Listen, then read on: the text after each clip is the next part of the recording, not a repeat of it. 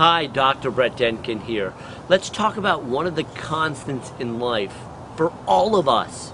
It's change, dealing with change.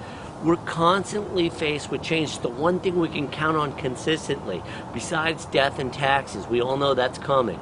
So, change, how do we get used to it? Well, first of all, we get used to it by knowing that it's going to happen. All things change.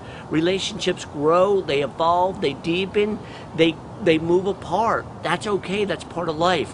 What kills us often in life is trying to hold on and resist as opposed to letting go and allowing. Those are energies that help us deal with change. The energy of acceptance, the energy of letting go, the energy of allowing. This is something that we can cultivate consciously. We can build muscle around acceptance by practicing accepting versus resisting.